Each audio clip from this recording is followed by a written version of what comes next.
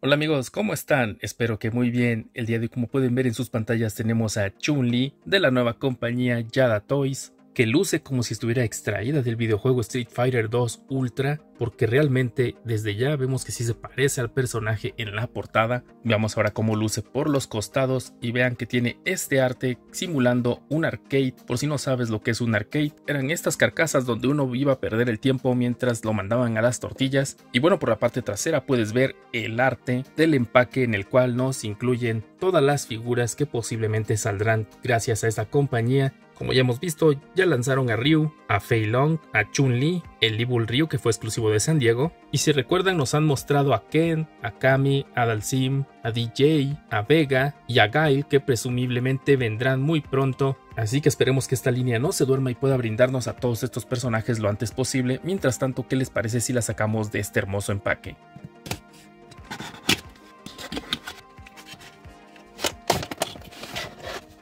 Y bueno amigos, aquí la tenemos ya fuera del empaque, pero aún en su blister. Y como pueden observar, viene con esta ventanita protectora, por si te gustaría conservarla de esta manera. Pues vamos separando esta pieza y como pueden ver, esta personaje nos incluye un par de rostros. El rostro que está sereno y el rostro que está gritando. No hay rostro feliz, tenemos un par de manos extras, un soporte para su efecto de poder, quiero imaginarlo, al igual que la basecita para el mismo, como podemos ver el cartón del fondo nos incluye el escenario del Street Fighter 2 Ultra, este clásico escenario que se recicló durante muchísimos años en diferentes Street Fighters, pues vean qué bonito luce como mini diorama. Aquí tienen este vistazo de cómo sería tener a Chun-Li parada enfrente del mismo y que finalmente sí le da esa profundidad, esa dimensión de que está saliendo del videojuego mismo. En cuanto a la figura he de decirles que sí me ha impresionado la calidad, el esculpido, la pintura, la textura, la suavidad de algunas partes, por ejemplo esto, vean, es bastante suave, también el plástico en esta zona es suavecito, ya que gracias a eso va a poder levantar las piernas con mucha facilidad. Ahorita lo veremos cuando revisamos sus articulaciones, quiero que vean también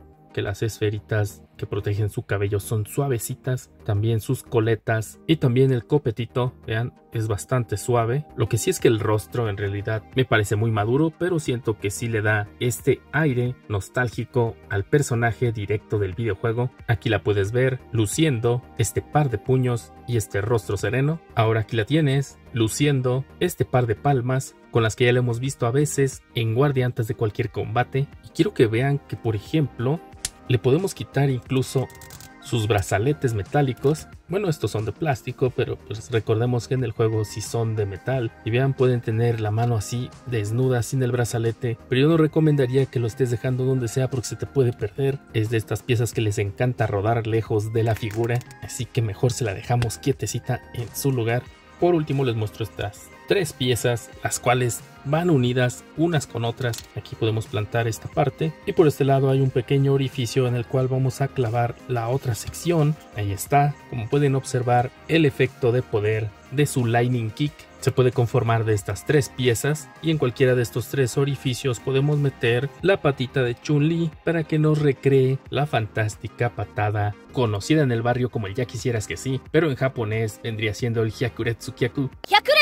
O sea, traducido sería algo similar a las 100 patadas desgarradoras, pero en Estados Unidos no se quisieron complicar la vida y le pusieron la patada de luz, la Lightning Kick, y como puedes observar se ve fantástica haciendo este movimiento, la verdad es bastante posable, se siente bastante firme se siente genial esta figurita. Ahora sí, vámonos a la parte favorita de muchos. Vemos que puede mirar reflexivamente hacia los costados, puede bajar la cabeza tanto así, tanto así hacia arriba, puede girar la cabeza con toda facilidad sobre su cuello. Tiene una doble articulación aquí, la cual si la aprovechamos ahora sí baja muchísimo más la cabeza y hacia atrás pues ahora sí que la eleva nada más poquitito, no es mucho, pero pues algo es algo. Vamos ahora a girarle lo que viene siendo el brazo. Vean que ella puede expandir sus brazos con mucha facilidad hacia atrás, puede devolverlos bastante bien hacia el frente, podemos cruzarle los brazos sin complicaciones, solo que sus brazaletes le impiden cerrar bastante bien. No importa, tenemos una doble articulación en los codos muy muy buena. Vemos que puede doblar sus muñecas tanto así hacia adentro, tanto así y tanto así hacia afuera. También podemos girar sus puños de esta forma. Tiene doble articulación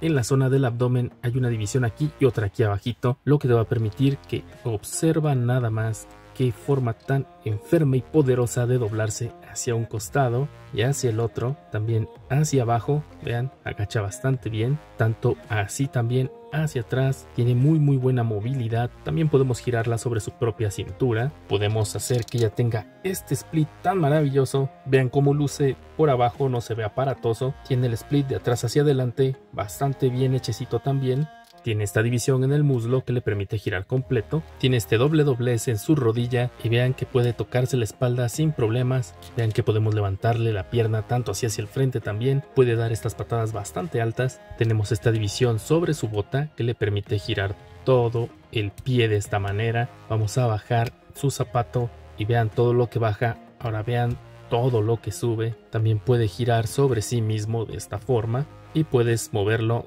de esta manera para que puedas posicionarla con mucha facilidad sin que pierda el equilibrio. Esta figurita alcanza los 14.8 centímetros de alto, lo que vienen siendo exactamente 5 pulgadas y 3 cuartos. Aquí la puedes ver ahora al lado de Chun-Li de la marca SH Figuarts, por este lado te muestro una custom que hice de ella misma, y como puedes notar ambas versiones respetan bastante el traje, aunque los rostros de los personajes son diferentes. Esta se ve un poco en versión anime, mientras que esta parece más versión del videojuego. Esta se ve más delicada y esta se ve un poco más tosca, y de hecho esta parece ser un poco más resistente que esta. Bueno, eso lo veremos en un video más detallado exclusivamente para comparar ambas versiones, así que no te pierdas ese video. Ahora como puedes notar, así luce ya al lado del Ryu de SH y por este lado con el Ryu de su misma marca, ambos Yada Toys. Puedes ver que no importa cuál de los dos Ryus tengas, esta figura va a quedar perfecta en la colección.